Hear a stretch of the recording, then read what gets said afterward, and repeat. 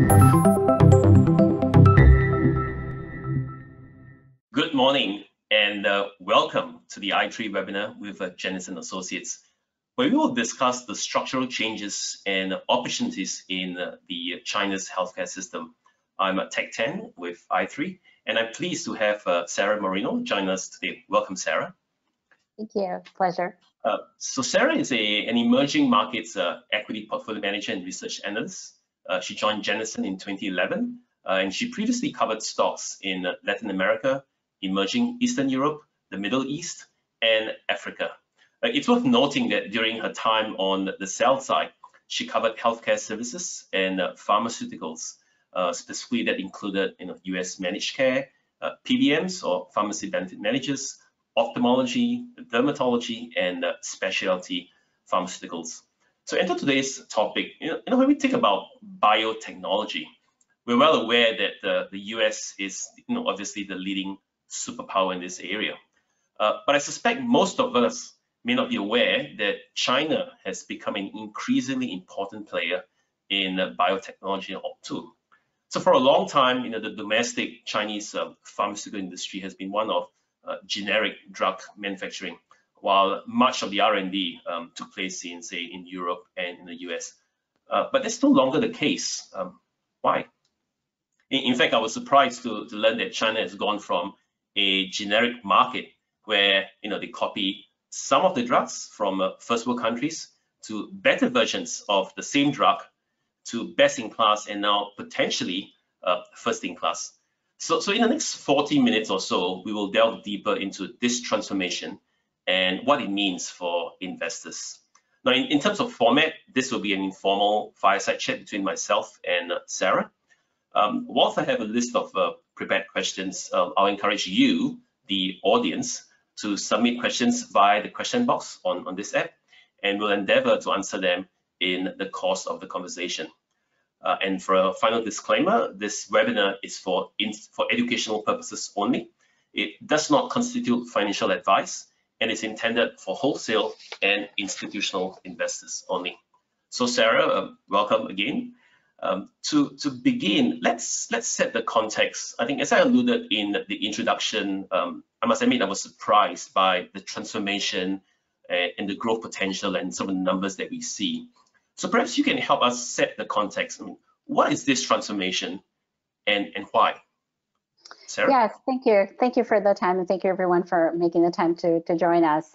So I think what the what is the premise is obviously we're taking a bottom-up active approach to investing in emerging markets but what we've seen over time is a paradigm shift where you know you're seeing innovation and and the leveraging of technology, you know, the, the invention of the smartphone really has unleashed a lot of opportunity for companies at a local level to really optimize and find opportunities to serve the local market.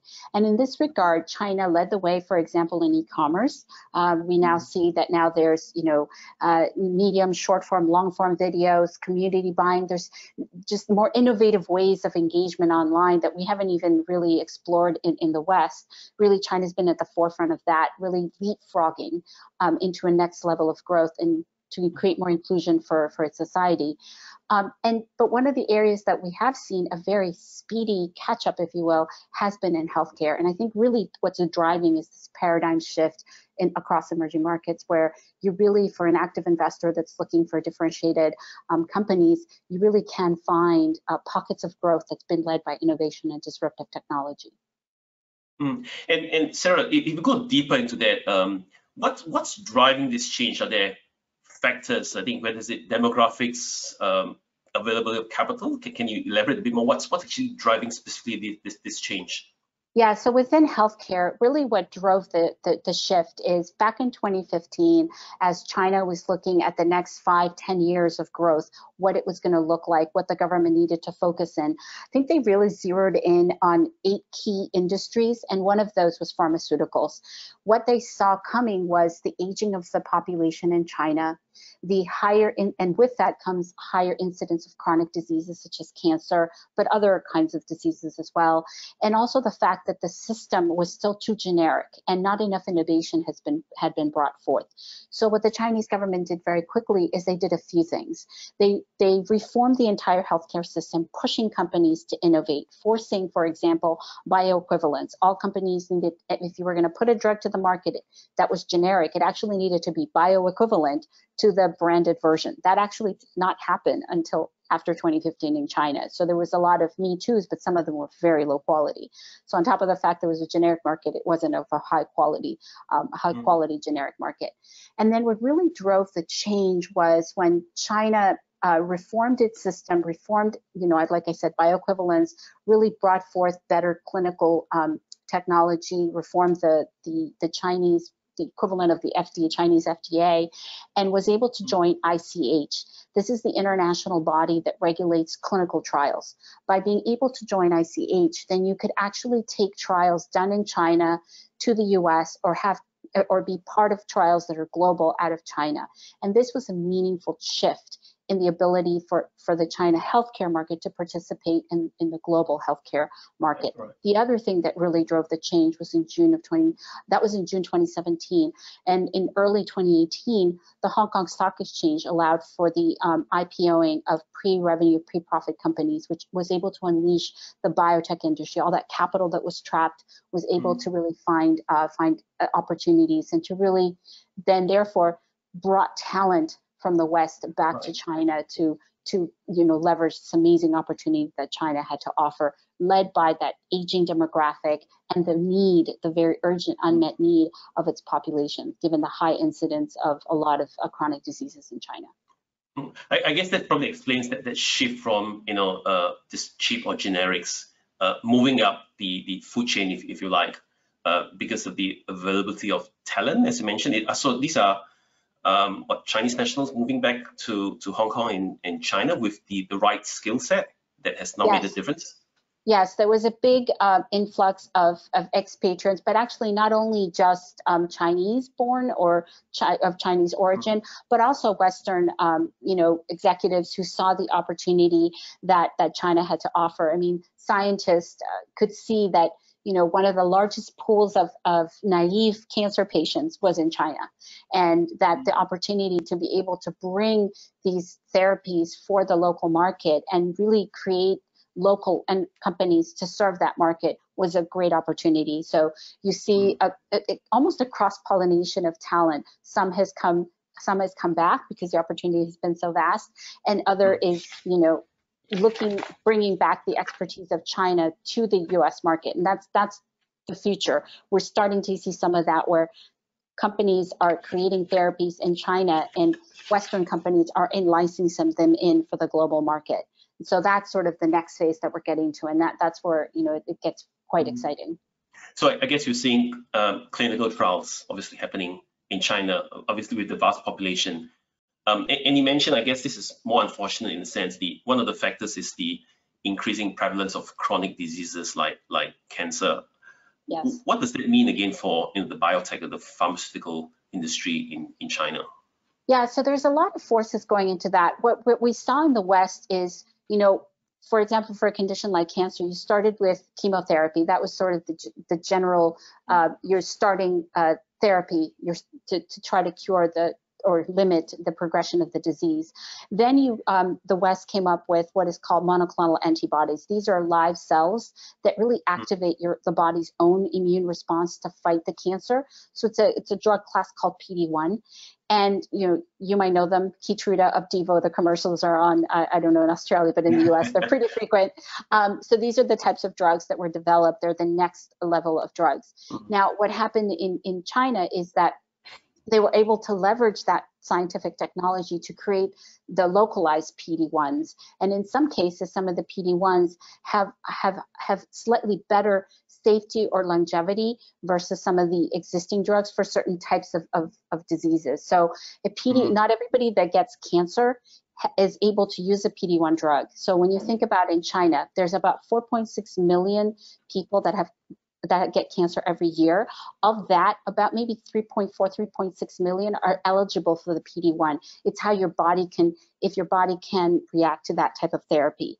And so you constantly have to have new therapies, and increasingly right. what we're going towards is therapies that address your specific type of biomarker. Are you are you know as you as diseases progress, then more therapies are given for that disease. And so mm. that's the ongoing cross pollination that you're seeing now out of the US and China, where some uh, therapies are being brought locally for the Chinese market for that specific type of disease or condition, but they mm. also serve the US market. So there's a cross pollination of, of not just the trials, but also the types of drugs that are being invented for these types of therapies. So there's a lot of opportunity in that interaction.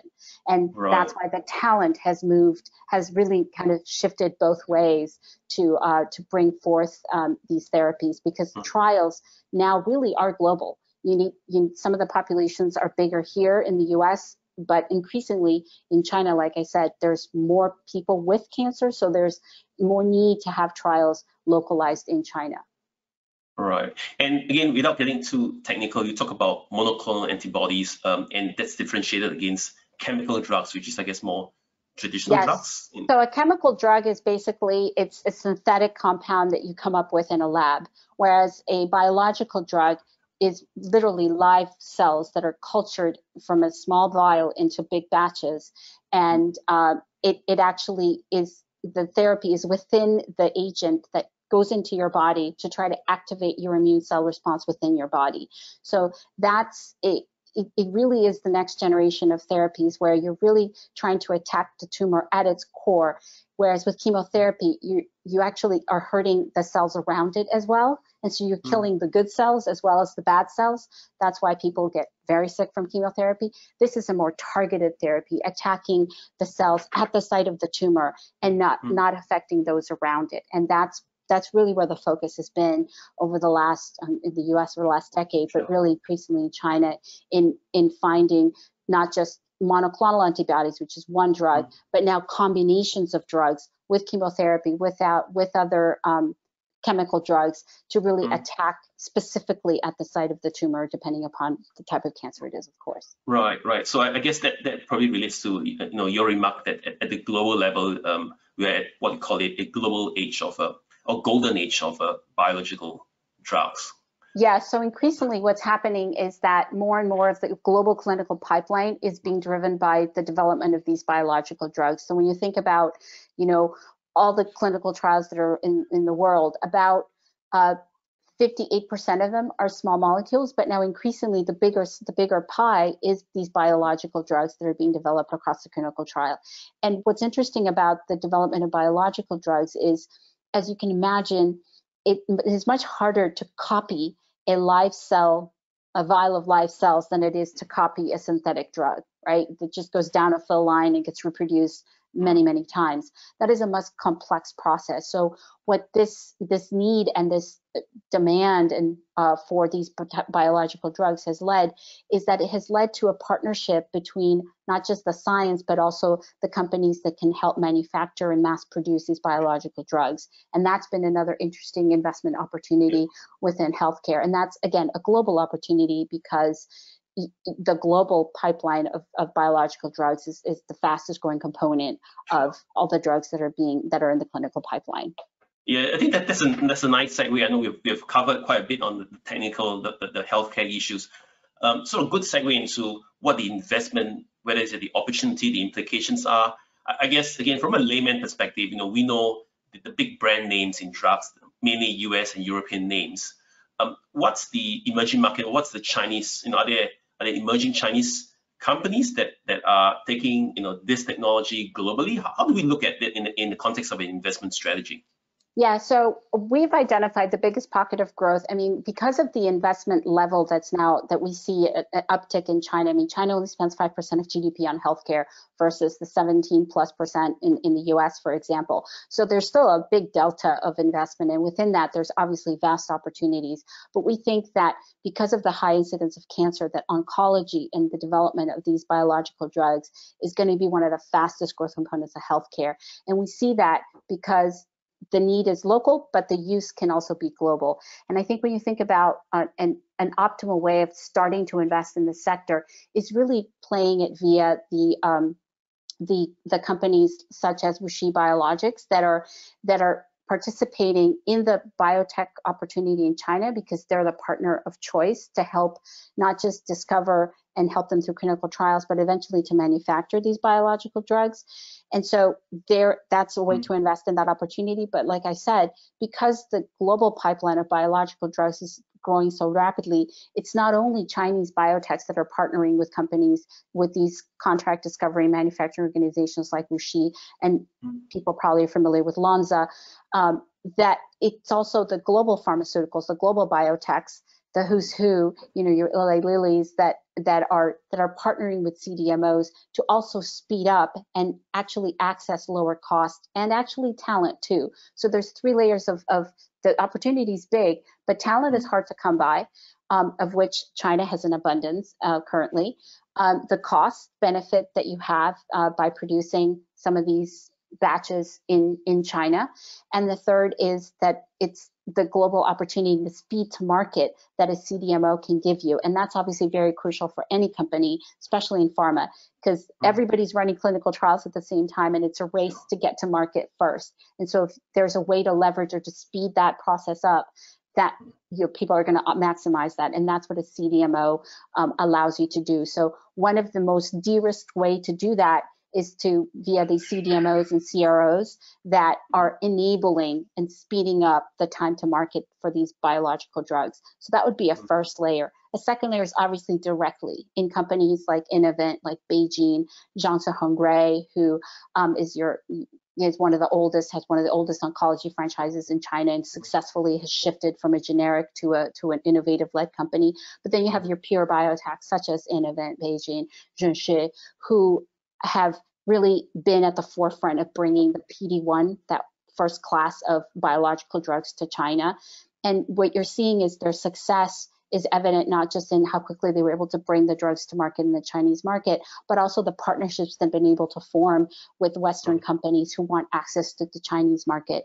You know, BeiGene with Amgen and Novartis, uh, Innovent with Eli Lilly, um, Junshi also with Eli Lilly. So that's been very, very exciting and interesting to see. And I think it shows, mm-hmm. to your earlier point, that it's not just a cheap manufacturing mm-hmm. copy uh, type of environment in China healthcare anymore. There is true innovation occurring, uh, and, and so it's a very exciting time uh, to be an active investor in, in China healthcare. So you had a couple of acronyms. I thought, again, for the benefit of our audience, you mentioned CDMO and CRO? Are these sort of outsourcing type arrangements? Yes. So a CDMO is a contract discovery manufacturing organization, and a CRO is a clinical research organization. The difference is that a clinical research organization really helps you through the clinical trial process. A CMO, a clinical manufacturing organization, just helps you. So if you think of the beginning of the chain to the end, it's discovery all the way to commercial. Um, and so you can have specialists that help you that you can outsource to at any part of that chain. What's unique about WuXi Biologics is they are an end-to-end solution from discovery all the way to commercialization. That's one of the most unique characteristics of that company because unlike Lonza, which is more of a CMO contract manufacturer organization, you don't get the, the, participation of that early discovery phase. By following the molecule, which is a follow the molecule strategy of WuXi mm-hmm. Biologics, mm.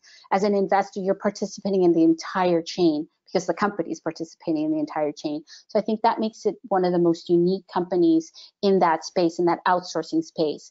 And that mm-hmm. is in itself one of the biggest levers of growth for, for the entire industry, the CMO, CRO, CDMO industry, is that more mm-hmm. and more companies, not just in China, but globally, are partnering with uh, you know the outsourcing trend is growing double digits and so that in sure. alone is a big leg of growth for these companies and increasingly mm. chinese companies are participating they're growing global because of the depth and the and the quick uptake that we've seen in clinical trial activity out of China from a local and a global level.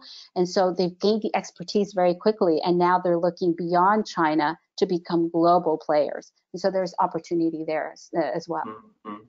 And, and, I guess talking about you know um, globalization and outsourcing and so on, um, you know often we hear in the press you know murmurings of you know geopolitics, and, and I don't want to get into you know the, the headlines, uh, but like really just stay at the investment um, level, um, you know outsourcing and, and there's murmurings of things like deglobalization, uh, trade tensions, you know threat of sanctions.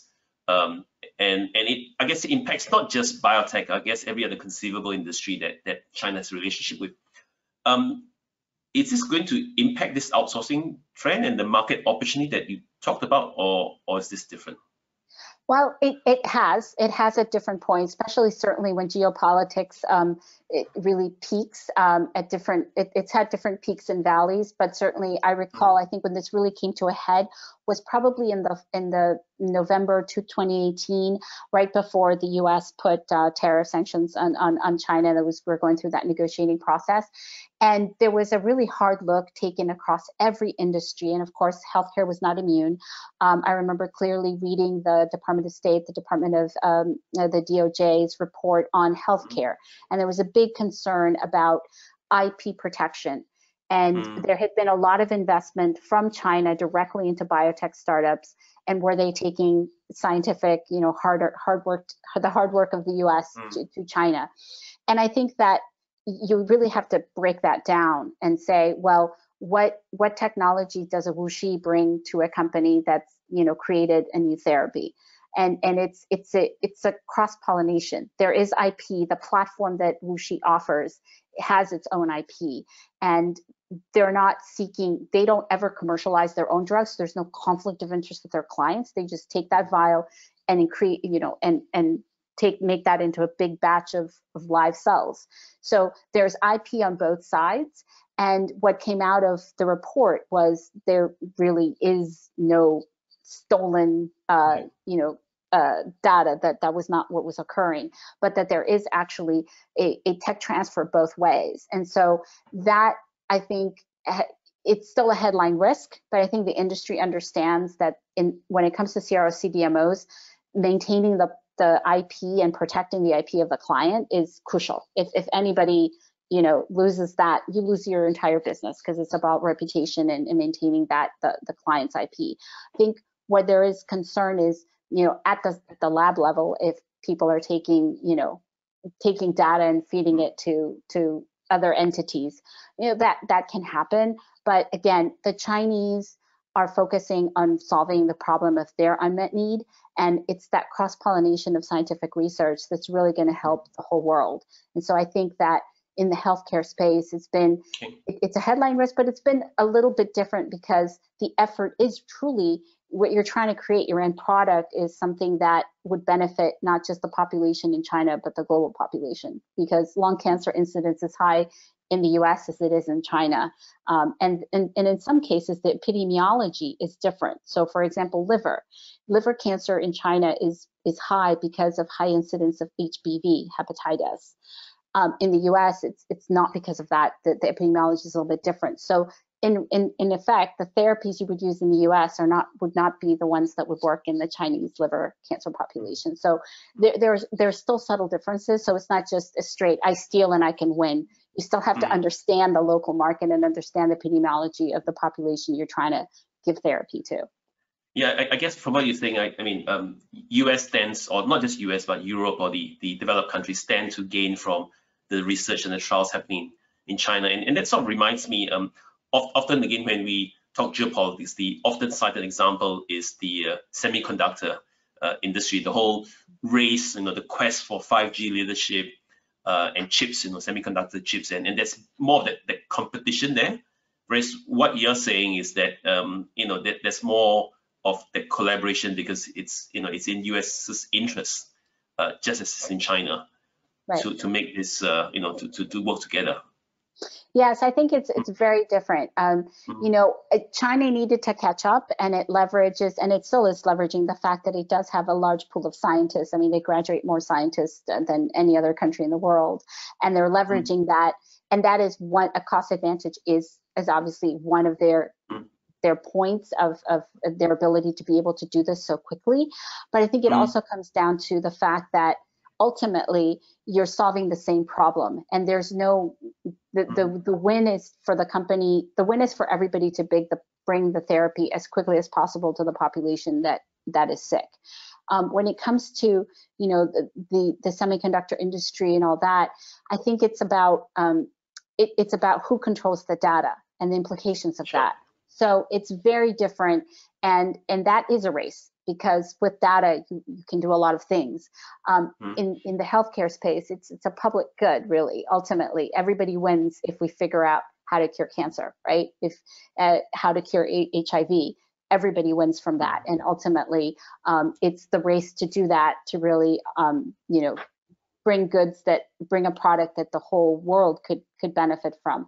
Obviously, initially the company wants one company, the companies want to win, and so they're sure. they're trying to maintain at that edge as, as as best as possible. But I think ultimately there's less of a, you know, it, it's not about the the the race to get to the data the way it is in, in, in the semiconductor industry. But I think also mm-hmm. what's really interesting about what's come out of all this geopolitics is that supply chains have been altered. And there's now really, everyone's taking a hard look at what is your healthcare supply chain, what's your semiconductor supply chain, and there's a portion that will be localized. And obviously, from an economist point of view, that's not optimal, right? Uh, we've all think globalization is is, is mm-hmm. the better way, but um, but I think that from an active investment point of view, it creates winners and losers. It does create opportunity as parts of the all chains, but parts of the healthcare supply chain will also be localized, and that mm-hmm. and you know that we'll see how that evolves as you know hmm. we come out of covid but i think covid has also accelerated that because yeah. it made clear that not only do we need to invest in healthcare but there are portions of the healthcare chain that need to be localized Sure. And in fact, just again, a, reminder to our audience that, uh, look, I've got a few more questions, but really encourage you to, to ask the question. So I have a question here, in fact, um, a good segue into COVID. Um, I, I, guess technically we're still in, in the pandemic, uh, obviously at various levels of progress. Um, um, I, I, guess the question here relates to you know, the impact of COVID on the biotech sector. And, and if my if I might add again, without being facetious here, you know, has has COVID been good for the biotech sector? You know, given uh, the serious importance that uh, we now attach to vaccines and and healthcare. Yeah, so I think that has been interesting in that because a company like WuXi Biologics was already, uh, you know, had the platform to um, to analyze and help companies in the discovery phase. They were actually one of the pioneers in helping a lot of the companies that have come up with potential therapies for COVID. Um, they've been a big participant in that, so they enabled and sped up the time to and to NDA to start on trials. Um, and and that's a testament to the platform that they have, the technology that they have to dis, to, to work on discovery of some of these mm-hmm. therapies. Also, they're uh, partnering uh, with some of the vaccine manufacturers to try to speed up more vaccine manufacturing. So there's been opportunity created by COVID because of the, the obviously the urgency to get therapies um, in, through mm-hmm. clinical trials and hopefully to commercialization and also to bring forth a vaccine. So you see already that you know the benefit has been tremendous and it came out came from the China side um, and the some of the science obviously has been coming from the West, but China has played a critical role. Um, and this isn't China; it's a company, right? It's based in China, but it's a global company that's that's mm-hmm. been um, an active participant in resolving that.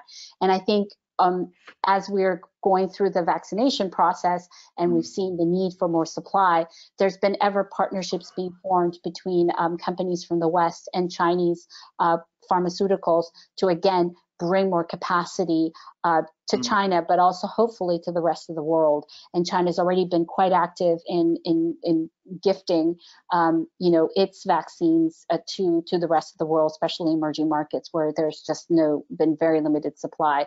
So there is a bit of you know vaccine diplomacy there, but I think it's yep. also just a testament of the the the speed with which China can participate and bring forth um, you know not the best. I mean, we know which the best vaccines are. They they came from the West, mm-hmm. but certainly yep. being part of the solution and being able to leverage its technology know how to bring um, therapies and vaccines to, mm-hmm. to the market. And so it's really um, proven the case that they're not me too and generic anymore. yeah. Um, I, I had a, a, recent conversation, and, and this relates again to the COVID vaccine and, and that investment dimension of it. And and, and the comment was, you know, despite obviously the critical importance of developing COVID vaccines, and, and this conversation was probably a year ago before Pfizer and the rest came to market, um, I, I, was told that the investment opportunity set isn't in COVID vaccines, uh, but rather in other drugs. You know, we, we talked about cancer and diabetes and others. uh, because COVID vaccines, while it's important and critical as we speak now, it, it is somewhat of a public good. And, mm-hmm. and commercial companies cannot be seen to be profiting from it. I mean, it's a commercial business, but it cannot be seen. Hence, again, if you put on your investment hat, the the opportunity set, the investment opportunity set isn't as great as maybe cancer, diabetes, and, and the rest. Yeah. Well, I think something that has come out of the vaccine process is now we know that mRNA technology is very, very valuable, and that that's mm-hmm. the Pfizer Moderna vaccine. Sure. So it's a whole new way of coming at creating vaccines, um, mm-hmm. and so that opens up a very interesting um, opportunity set that some of the Chinese companies are already looking at. They're they're trying to create, you know, mRNA technology and and what comes out from that. So I think something that COVID-19 has brought forth is, you know, this this whole new technology that we could we can now harness, but also the need to continue investing in you know the next generation of, of drugs. And so the big opportunity that that was already occurring pre-COVID has only been accelerated by COVID. I think COVID just became the accelerant for the types and levels of investment that mm. maybe some some governments, some companies were thinking about doing, and now COVID has accelerated that. And it's not just biotech where you know it's bringing more therapies to market, evolving um, as cancer also evolves, um, mm. but also the fact that how we're interacting within the healthcare space, much like how you know we, we shop on Amazon. The COVID really unleashed um, what is now being called health tech, and the the how we interact with doctors, how we interact with hospitals. That parts of the cha- parts of it can be done online and it would be more effective to do so. It's certainly more cost effective. You probably need less doctors' offices if if people can can do certain parts of the of the transaction online. And so that has it's another pocket of opportunity that's actually you know COVID really accelerated. Um, but we see that again here, China was already ahead of that because you have companies that are quite sizable that had already been looking at how do we how do we limit the long lines outside hospitals in China because there really isn't in China the system is such that most people go to the hospital when they're sick whether it's with a cold or with cancer. And so you have huge backups and it's highly inefficient and the government was looking for ways to make it more efficient. So even before covid they were looking for ways to harness the the the, the opportunity set that the smartphone gives us that you know platforms mm-hmm. like WeChat can give to create um, telemedicine. And so they had the nuts and bolts of it before COVID. And what COVID did was really to shift, quickly shift people into these platforms. And now we're trying to figure out, well, how do you monetize this? And so it's creating a very interesting opportunity um, that we're, you know, we'll, I think we'll see that translated into other emerging market economies by other companies. And that again creates a very interesting opportunity. Yeah, I, look, I think as you say that, it just occurred to me. I mean, there, there's pharmaceutical which we've covered, but uh, I guess adjacent to it is is this uh, medical technology yes. industry. Is that also happening on the fringes uh, beyond the, yeah. main? I mean, I think one of the other things that is being explored increasingly, and and I was actually looking at a potential company, uh, a small company, I think that's thinking of IPOing, is to leverage AI right? I think one of the things that you have in, in the science process is you publish paper and there's a lot of papers published and the mm-hmm. human capacity to retain all this information is is limited whereas with ai you can quickly go through all the publishings in uh, medical journals in the world mm-hmm. and and find the type of information that you're looking for and harness that more efficiently so really again speed up the scientific portion to get to drug therapies that could potentially work. There's also now increasingly data banks of all the types of data biomarkers um, that you can have of, of, of, humans to understand well which ones are the ones I should target for this type of mm-hmm. cancer. Um, and then the the holy grail, if you will, is you know diagnostic companies and oncology diagnostic companies that are really trying to determine whether your probability of getting cancer is X percent and getting at you before you, it becomes, you know, stage four cancer. So early mm-hmm. detection of cancer. And so this is the, the, the future where we're solving for the disease before it happens, especially mm-hmm. with chronic diseases. Because when you think about um, in the Chinese government and they're, you know, th- these are companies that you know are already in, in public market public equity markets in the US, uh, but in China they really have again accelerated that and really invested in that because the Chinese government is one payer. And so the Chinese government is looking for ways to optimize this very high cost burden that they face and the mm. potential to really have early detection in something like cancer would obviously be helpful to be able to divert those funds more efficiently into other other parts of the healthcare chain. So there's a lot, like I said, lots of pockets mm -hmm. of growth opportunity within the China healthcare mm -hmm. space, and I think a lot of it has been accelerated by COVID, and that's really what I guess the positive of of, of COVID. Mm. Um, Sara, I, I, know that uh, you don't just cover China or, or healthcare, you're, you're emerging markets uh, portfolio manager. And I thought in, in this last few minutes, um, might might maybe perhaps pick your brain on you know the other big emerging market um, right beside China and India, you know, huge population. Mm-hmm. Um, I'd say fairly similar issues. Again, in, in, the context when we talk about you know um, drugs and biotech and, and medical technology, um, what's happening in India? It, it, are we seeing a similar sort of opportunity set in India as well? Yeah, so India has, um, they've already already been a key uh, participant in the supply healthcare chain, but mostly in the more in the generic side. Um, you, you probably is a little fact, little known fact, but most of our generic drugs uh, that we consume in the U.S. are actually produced in India. And oh, wow, okay are, um, are Indian. Um, so, you know, your Teva, you have your Teva, which I think is one of the largest generic company in the world, but a lot of the generic drugs that that um, that are consumed in the United States are from Indian companies. Most of the, you know, pharmaceutical companies I'm familiar with in India, you know, 50, 60% mm. of their sales are are done in the U.S. So that's been a market that that India's really taken control of. Um, mm. I can't say that we've had the talent pool come back to India as yet in the way we saw in China. And there hasn't been the level of investment in creating, uh, you know, the next generation. But it, it's it is happening. There are companies like Biocon that are um, trying to play more the the generic part of the biological chain. Mm-hmm. So um, a branded uh, small molecule drug is called a generic. A a branded, if you will, biological drug, the corollary to a generic is called a biosimilar. So again, it's not an exact copy, so that's why you can't say it's generic because it's live mm. cells. You can't exactly copy live cells. Mm. So um, there is companies in India that that are participating in that. Um, mm. Also in Korea, you have big companies like Celltrion that, that do the same thing. So they they participate in the healthcare chain, but unfortunately not yet in the the higher value chain the way China has has proactively moved towards.